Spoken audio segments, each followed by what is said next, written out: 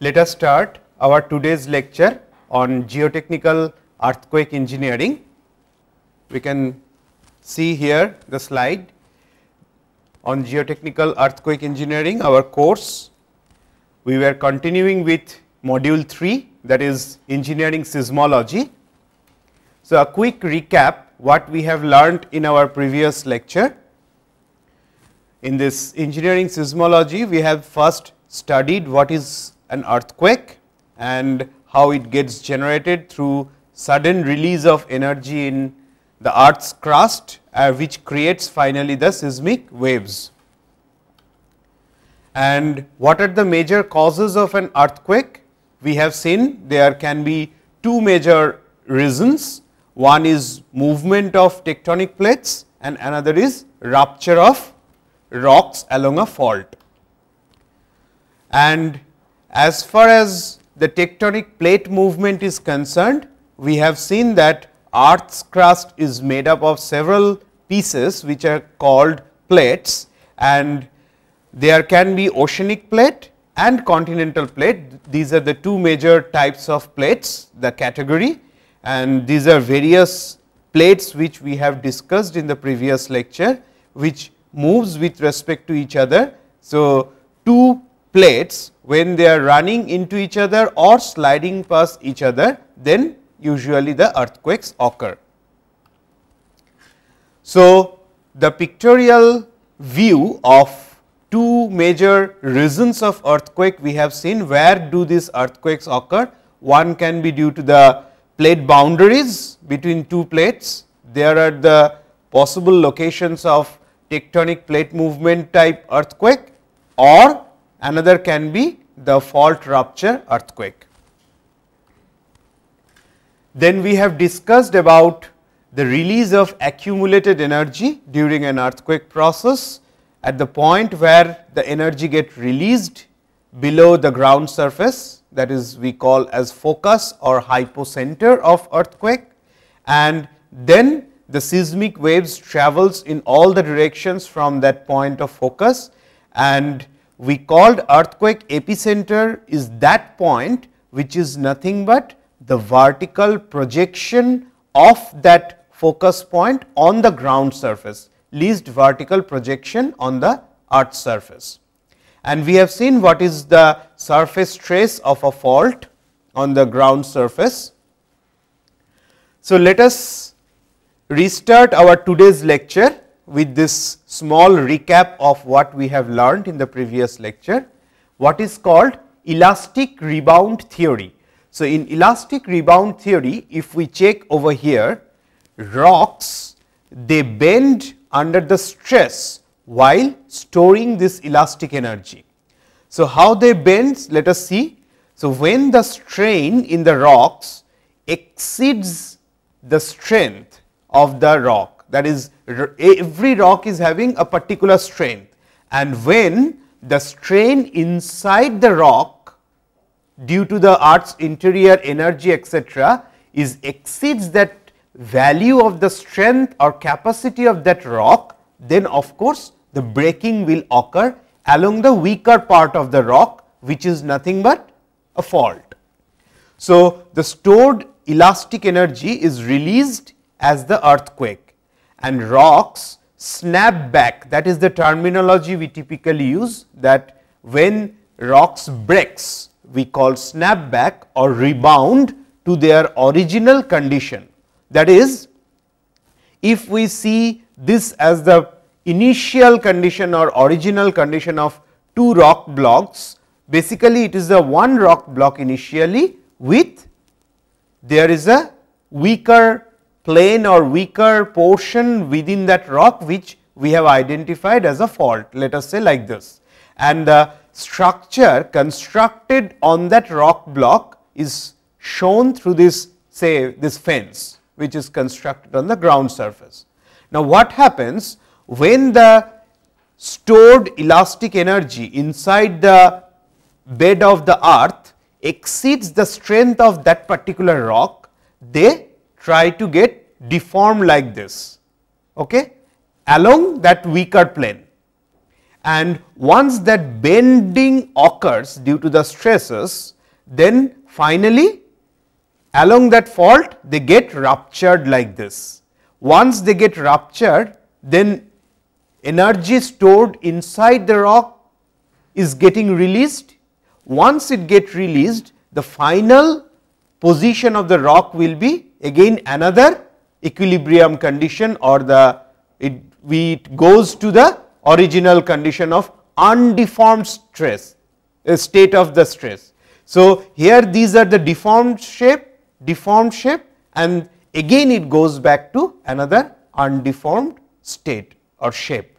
But in that process you can see there is a movement along that fault which automatically creates the disturbance of the structure which was constructed on the ground surface on this rock block. So, now along that fault there is a breakage occurred or movement occurred which essentially caused the breaking of the structure constructed on the ground surface. So, this is known as elastic rebound theory that is rock block rebounds elastically and goes back to their original position from this position through the process of this bending under the stress or when the strain inside the earth crust exceeds the strength of the rock. Now, let us see another few terminologies which are commonly used in earthquake engineering like foreshocks and aftershocks. So, what are these things let us see. So, foreshocks, aftershocks like whenever there is some adjustments that follow a major earthquake often generate a smaller earthquakes these are called aftershocks. That means, many a times you will hear that when a large magnitude or a major earthquake has occurred at a location, after certain time there is again few number of shocks coming or few number of earthquake motions are coming at that site or in the vicinity, which are known as aftershocks. That is after that major earthquake incident, whatever shocks or earthquake motions are coming, that is termed as aftershocks after that major event. Whereas, there are small earthquakes which are called as foreshocks they often precede a major earthquake by even hours or days and in some cases even as much as several years. That is many a times it is also possible that say small magnitude of earthquakes are keep on coming at a particular location or in a vicinity and after few hours or few months or few days at that location or in that vicinity a large magnitude or a major earthquake has occurred. So, that is called that is those small magnitude earthquake which precede that major earthquake event are called as foreshocks. Okay. So, we have to be careful not only about that major earthquake, but also the structure whether it is a superstructure or substructure must be stable during these foreshocks and aftershocks also. Like for example, I can give just uh, about one and a half year back or close to two years back that is in March 2011, there was a major earthquake in Japan in Tohoku, all of us are aware about that. That major earthquake event was followed by several numbers of small small earthquakes which are called as aftershocks.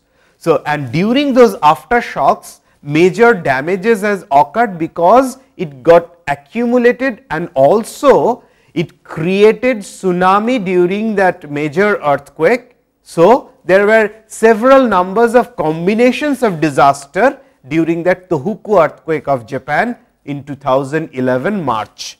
So, that is why we say aftershocks are very important to identify or to make sure that our structure survive during these aftershocks as well as the foreshocks. That is not only the major earthquake event, the major earthquake event may continue for only couple of seconds, but these aftershocks and foreshocks can be several in numbers and they can continue for several consecutive numbers of seconds which gets accumulated and uh, create severe damage to the structures because we will see later in this course that structure also needs some time to respond to these earthquake forces or earthquake shocks. So, that response time required will be more if it is a very short duration. So, if you have a longer duration earthquake then of course, that gives a quicker response of the structure and automatically for that reason aftershocks many numbers of aftershocks or many number of foreshocks of a major event is essential to study. Coming to next point that is study of earthquakes. We can see over here when the study on earthquake started, it the study on this earthquake waves that is what we called as seismology that dates back almost 2000 years back.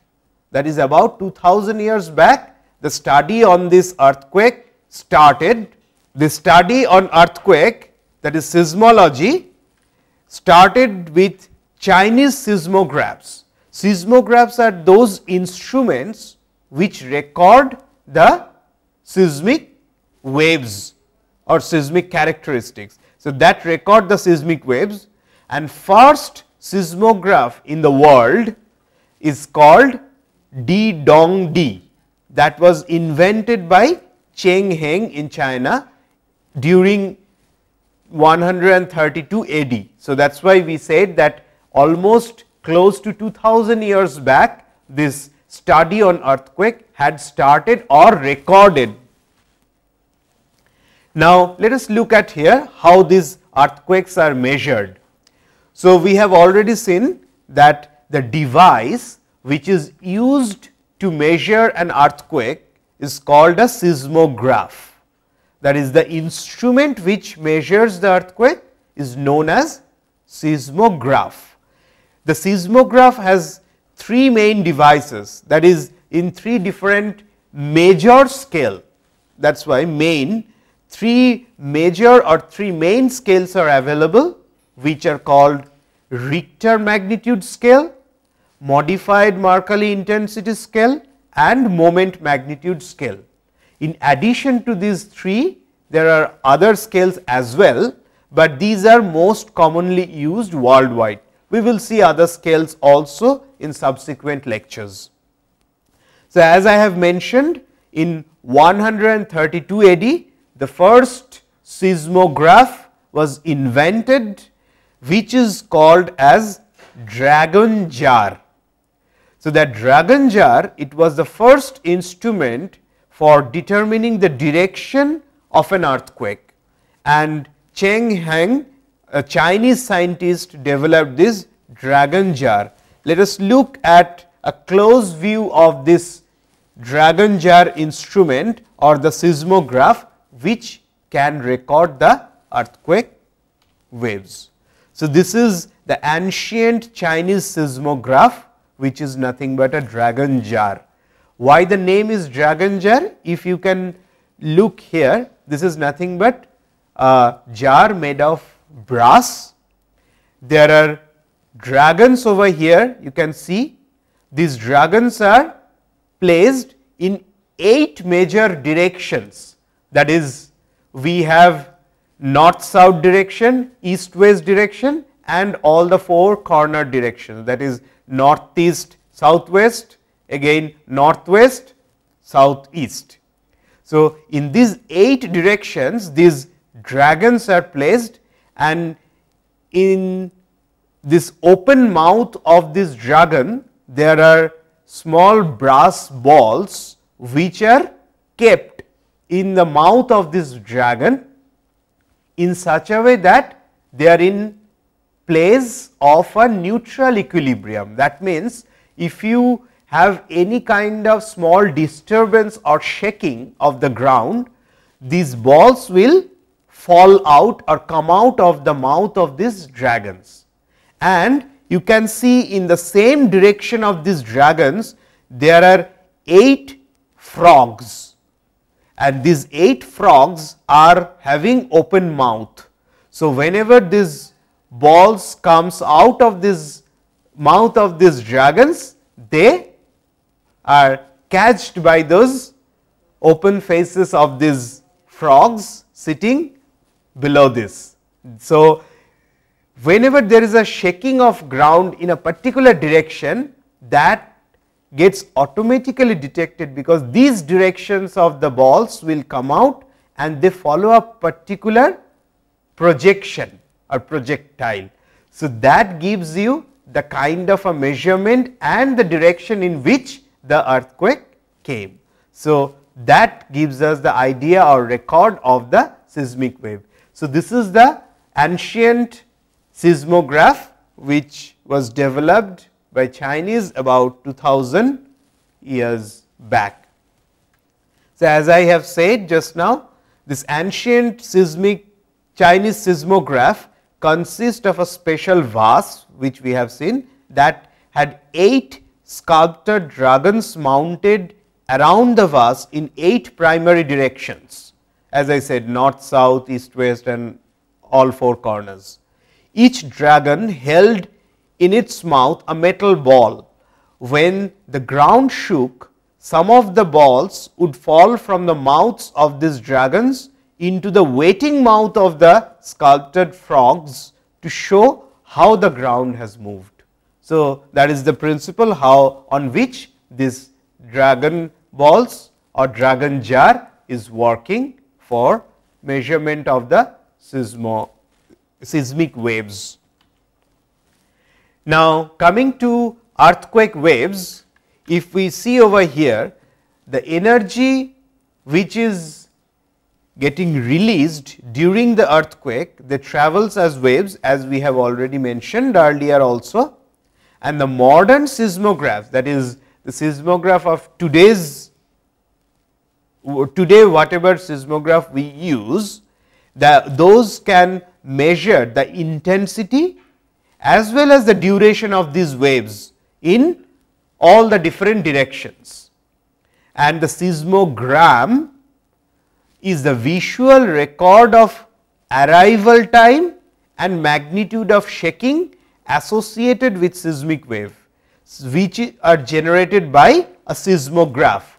So, the instrument which measure this seismic waves are called seismograph and the device or the paper or uh, the page on which we get those recorded that data sheet is known as seismogram.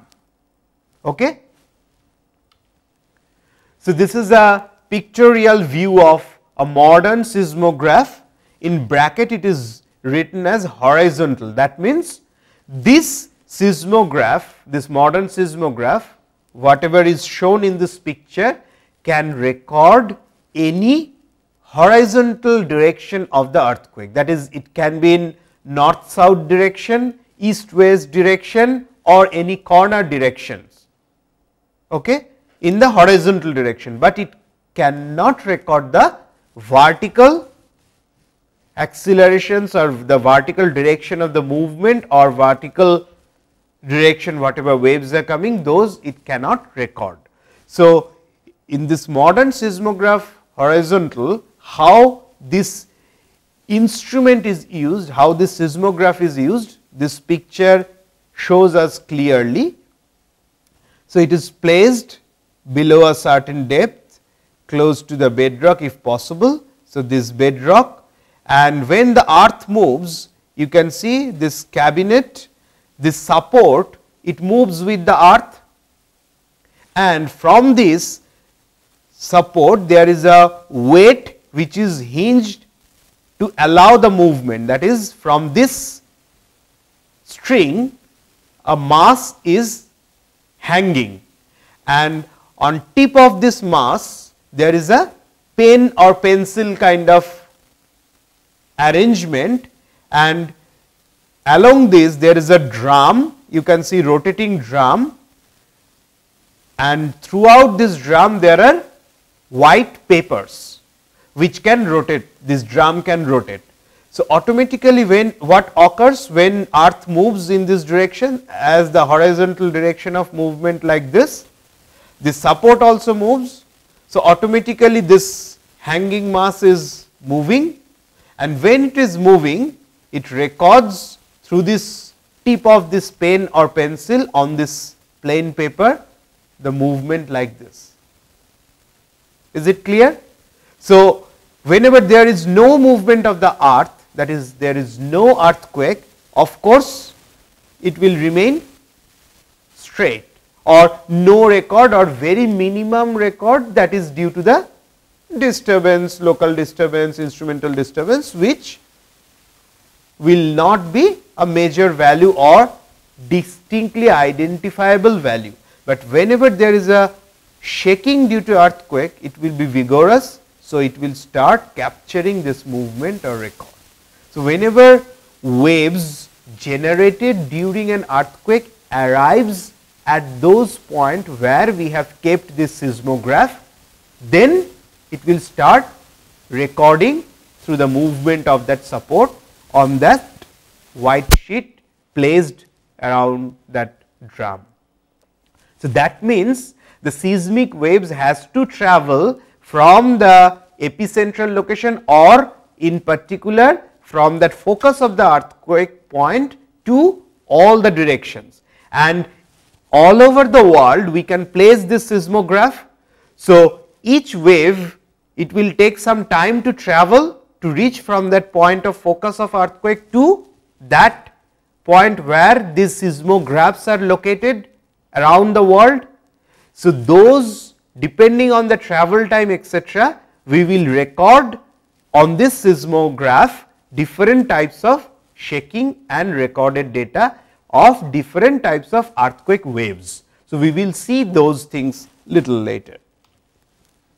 Let us see another type of modern seismograph which can record the vertical movement that is uh, the previous one could record the horizontal shaking in any direction of course, as we have mentioned. Now, we want to see whenever there is a vertical shaking of the ground, how it can be measured that is how much vertical shaking is occurring during an earthquake, how we can measure using this modern seismograph.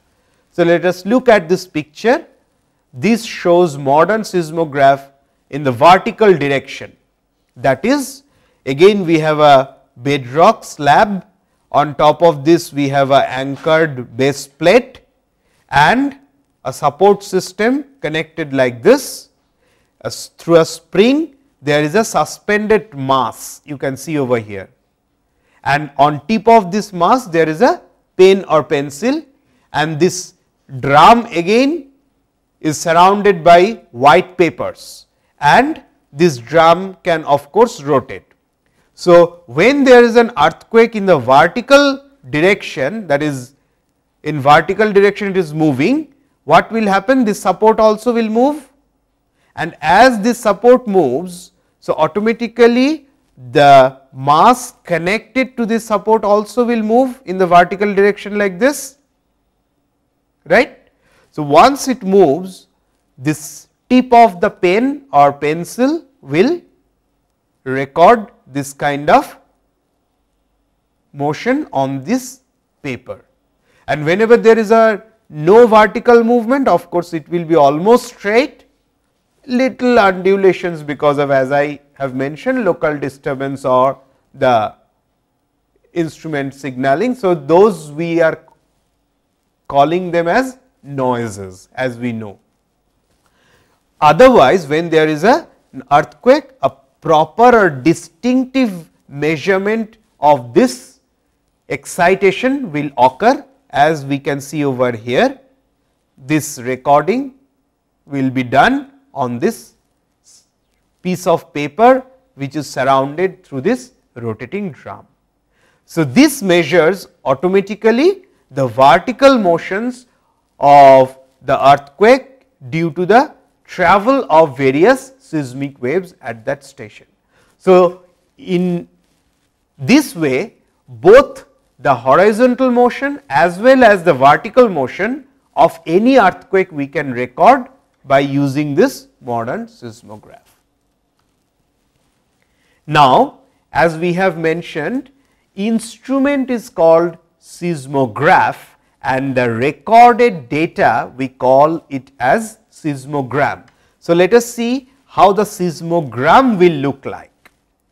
So, this is the typical output of the seismogram that is the what is getting recorded on that piece of paper through that rotating drum we get finally that paper out from the drum and when we take a note of these excitations which are getting recorded due to a particular earthquake, it will be something like this. So, this horizontal axis will give us the time scale of course, and whenever there is a shaking you can see initially it will be straight when there is no earthquake as we have already mentioned.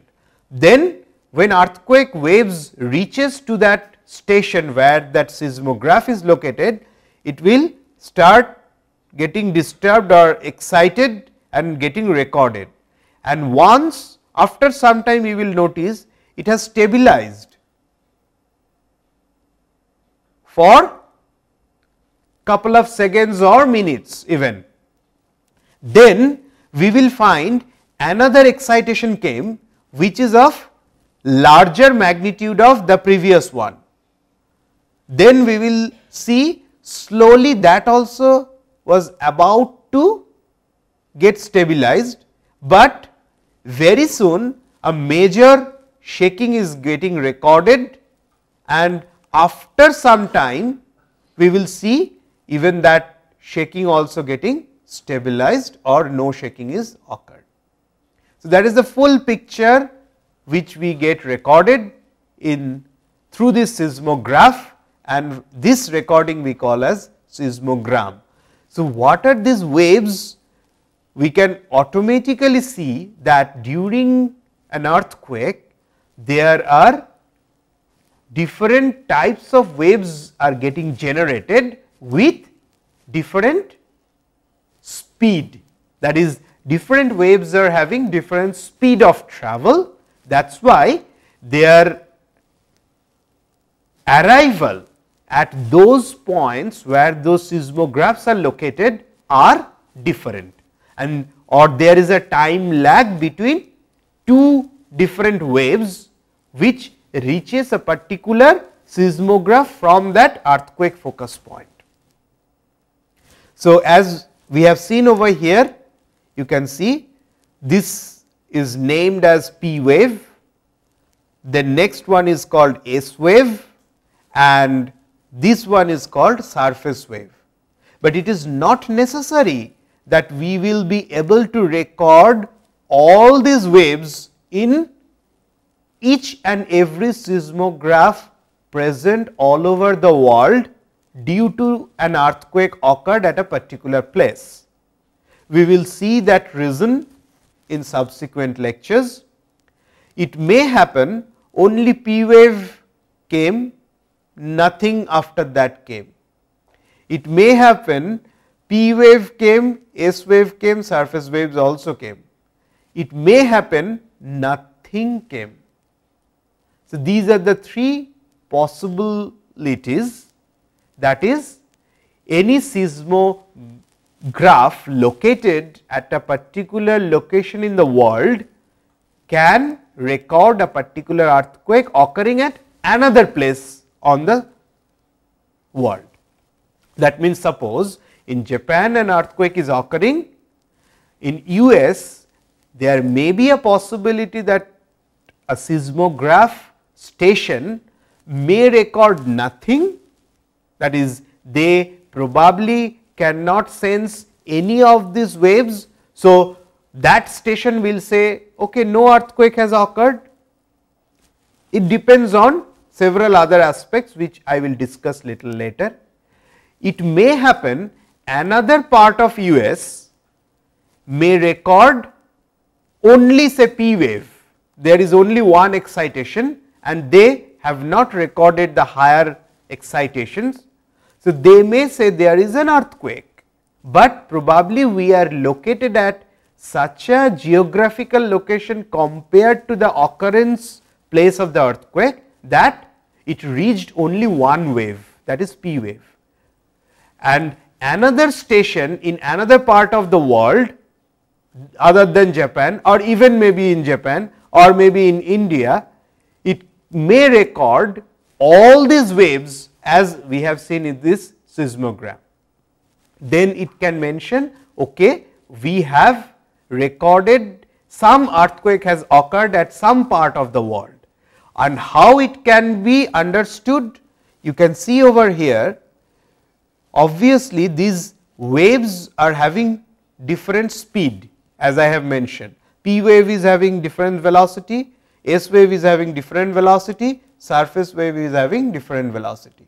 So, obviously, their arrival from the focus to the instrument station will take some time and that time if the instrument location is much farther away from that focus of the locks, uh, focus of the earthquake point obviously this time gap also etc., will change, it will vary.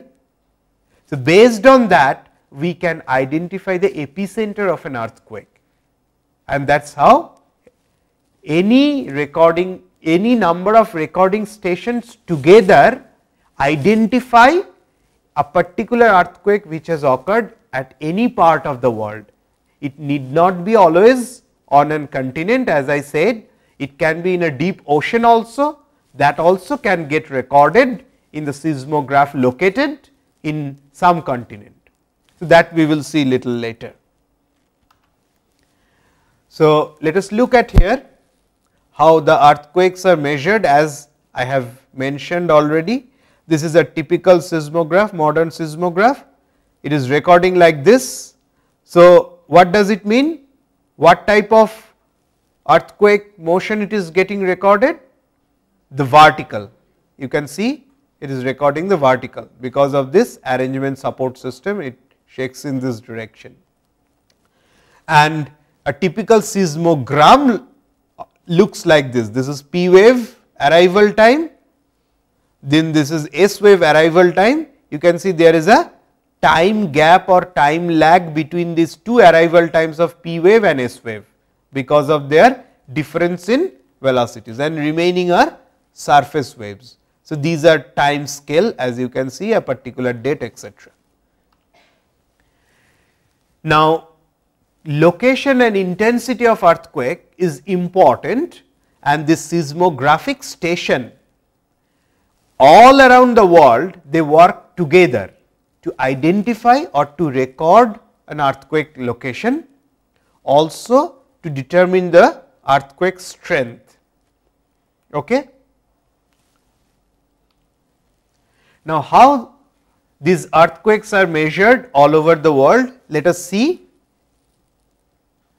the magnitude of most of the earthquakes are measured on Richter scale that is the most popular or one of the oldest method by which the magnitude of earthquakes is measured which is invented by Charles F. Richter in the year 1934. You can see Professor Charles Richter, he is studying the seismogram and this Richter scale typically this is based on a logarithmic scale that is log to the base 10 scale it is measured. We will discuss about this Richter scale in subsequent slides and lectures. Now, another way to measure earthquake is based on the strength of the earthquake, which is known as Mercalli scale, which was invented by Mercalli in 1902, but you can see this is a measurement based on the observations of the people who experienced an earthquake to estimate its intensity. So, this is the picture of Mercalli. You can see the basic difference between this Richter scale and Mercalli scale is that Richter scale measures the magnitude of earthquake based on the displacement of the ground on a mathematical scale or logarithmic scale, whereas the Mercalli scale is based on the intensity of earthquake which is nothing but based on observations of the people who has experienced that earthquake. So, what does it mean? Let me clarify it little more. Like if an earthquake say it has occurred in a deep sea or deep ocean in the mid of an ocean or let us say it has occurred in a open desert area say Sahara desert where least number of or no people or no inhabitants are existing at those locations of course for known reason. Now, if an earthquake occurs at those locations then as we have mentioned just now we can measure those earthquake also using this our modern seismograph through this seismogram taking measurement all over the world and that we can put it in a measurement scale which can be in the measurement scale unit say Richter scale. We can identify that Richter scale magnitude of that earthquake, but as there are no people staying in those locations either mid sea or desert, obviously there is nobody to experience that earthquake. So, you cannot get any feedback from the people that is how they experience this earthquake when it came. So, the Mercalli scale which is based on the intensity or observations of the people, what will be the value of that in those locations? It cannot be measured or unmeasured or 0 or not available, but still it may have a high magnitude of earthquake in the magnitude scale in Richter scale. Whereas, another situation let me tell you as we have discussed in one of the previous lecture say Haiti earthquake which occurred in January 2010 a major devastating earthquake, but it was not the largest earthquake in 2010 the largest earthquake in 2010 was February 2010 Chile earthquake. Okay? But damages were more in Haiti earthquake in January 2010. So, if you ask people those who experienced that earthquake in Haiti, they will give their observations, their feelings of an earthquake, which if we put in this Mercalli intensity scale, that will be very high because damages were more. People experienced more damages, more problems during that earthquake.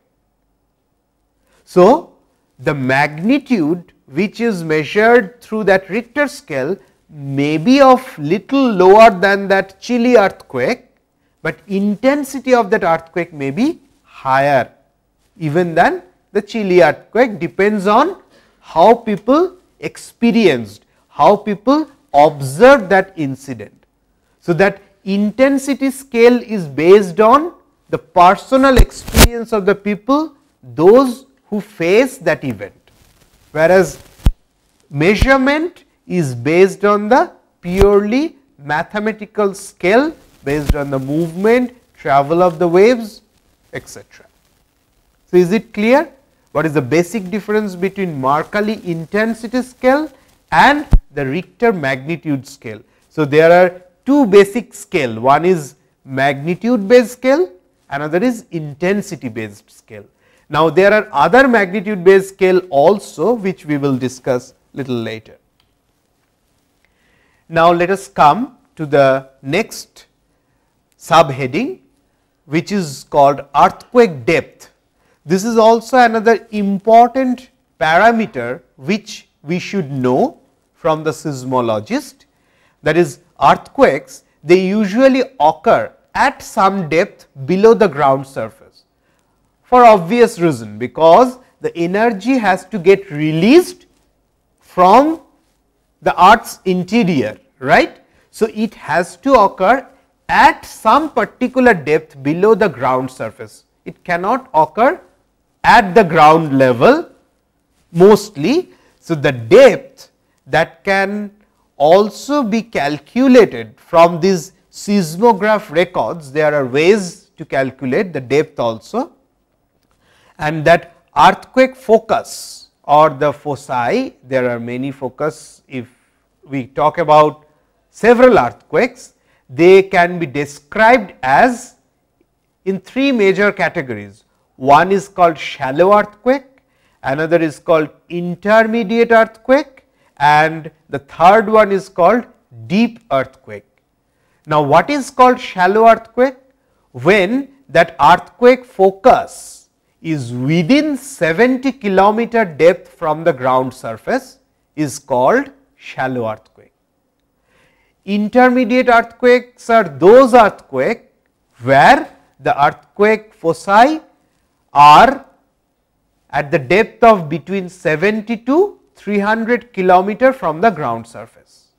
And deep earthquakes are those earthquakes where earthquake foci are located between 300 to about 700 kilometer depth below the ground surface.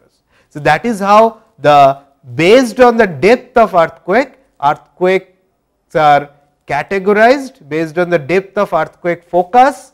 Earthquakes are categorized in three major classification.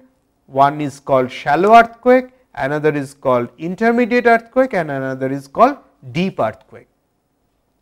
Now, as a layman, we can always say using the common sense that among these three earthquakes shallow, intermediate and deep, if we have the amount of energy released same in all these three earthquakes, which one will be more destructive? Of course, the shallow earthquake because it is occurring close to the ground surface. So, it will have more effect, more devastating effect on the ground surface so, that is why you can see over here. And another historical record says that 94 percent of earthquake foci are within 100 kilometer depth below the ground surface. And large earthquakes are mostly within 60 kilometer depth that is at shallow depth which is for obvious reason as I said because close to the ground surface when the foci is located there is a chance of having a major earthquake or major devastation. So, that is why large earthquake or major earthquake will be of shallow earthquake and no earthquakes occur deeper than 700 kilometer because then we will go to another level of earth's interior. So, that is why no earthquake occur deeper than 700 kilometer depth. Now, coming to another important criteria which many laymen or common people they will ask that is whether we can predict earthquake, whether it is possible to predict earthquake. Now, if we want to give the answer in a single word to this, the scientific answer, we should say no. That is so far we cannot predict earthquake exactly, because prediction means we should be able to tell that okay, after so many years at that location that magnitude of earthquake of that duration is going to occur. And as we cannot do that scientifically, the answer is no, that is we cannot predict earthquake with these informations, but there are chances by which in a scientific way also we can give a range of possibilities of occurrence of earthquake based on the study on probability. That is a mathematical study what we can do, but that we should not say that we can be able to predict earthquake. That just give a probability of occurrence of an earthquake at a particular region over a time frame. It cannot give an exact date and time that at this date at this time that earthquake is going to occur. Okay. So, let us look at here what the common observations for predicting earthquake. There are some non-technical or non-scientific observations also which I am going to mention over here.